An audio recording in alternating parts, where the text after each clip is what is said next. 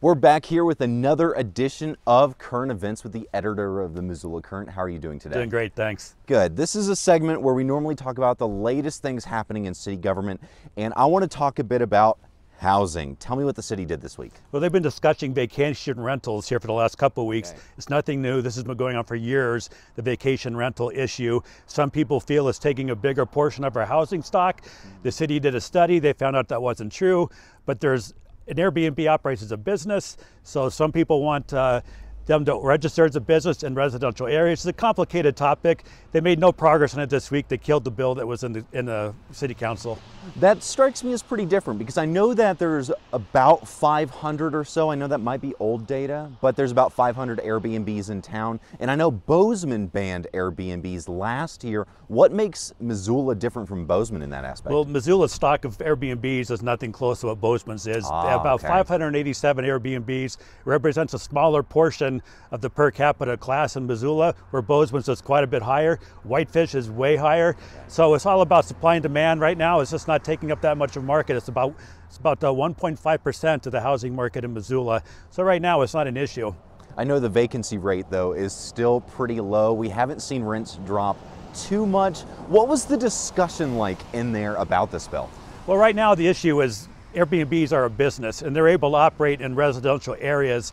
Other businesses are not permitted in residential areas. So instead of banning Airbnbs, what the city council is going to do is like code reform. Okay. It's a really boring word. It's kind of a boring topic, but it looks at zoning. So they want to be able to zone more businesses into residential areas like coffee shops, corner markets. So instead of eliminating a business type, they want to bring in other types of businesses. Code reform is going to take a while to play out, but that's the goal.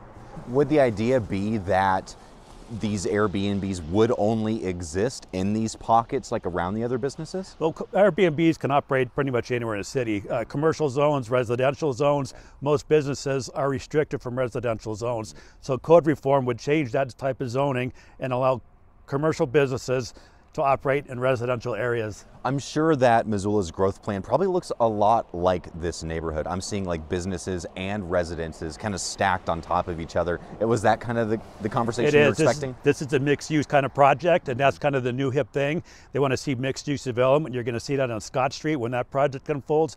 You're starting to see that out, uh, you know, in, in the Mullan area. That's the hip new thing. That's the direction the city wants to go with the zoning.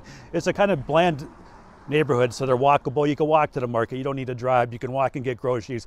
You don't need to hop in the car, go across town. That's the goal. It's been nice seeing so many people walk out even on a kind of a chilly February day. What's the next step for the code reform then? What should people be looking out for? It's going to be a long process. It kind of comes out in parcels. You know, it's going to be kind of a you know, slow creep of proposals and policies, uh, but just keep your ear to the ground and participate in the process if you want to be in the know. It's, uh, it's a big deal. It's a big change in zoning, and it's going to kind of reshape how Missoula looks and feels down the road. Well, if you want to stay in touch with the code reform, the best place to go is the MissoulaCurrent.com. Thank you so much, Martin. I appreciate Hey, thank it. you.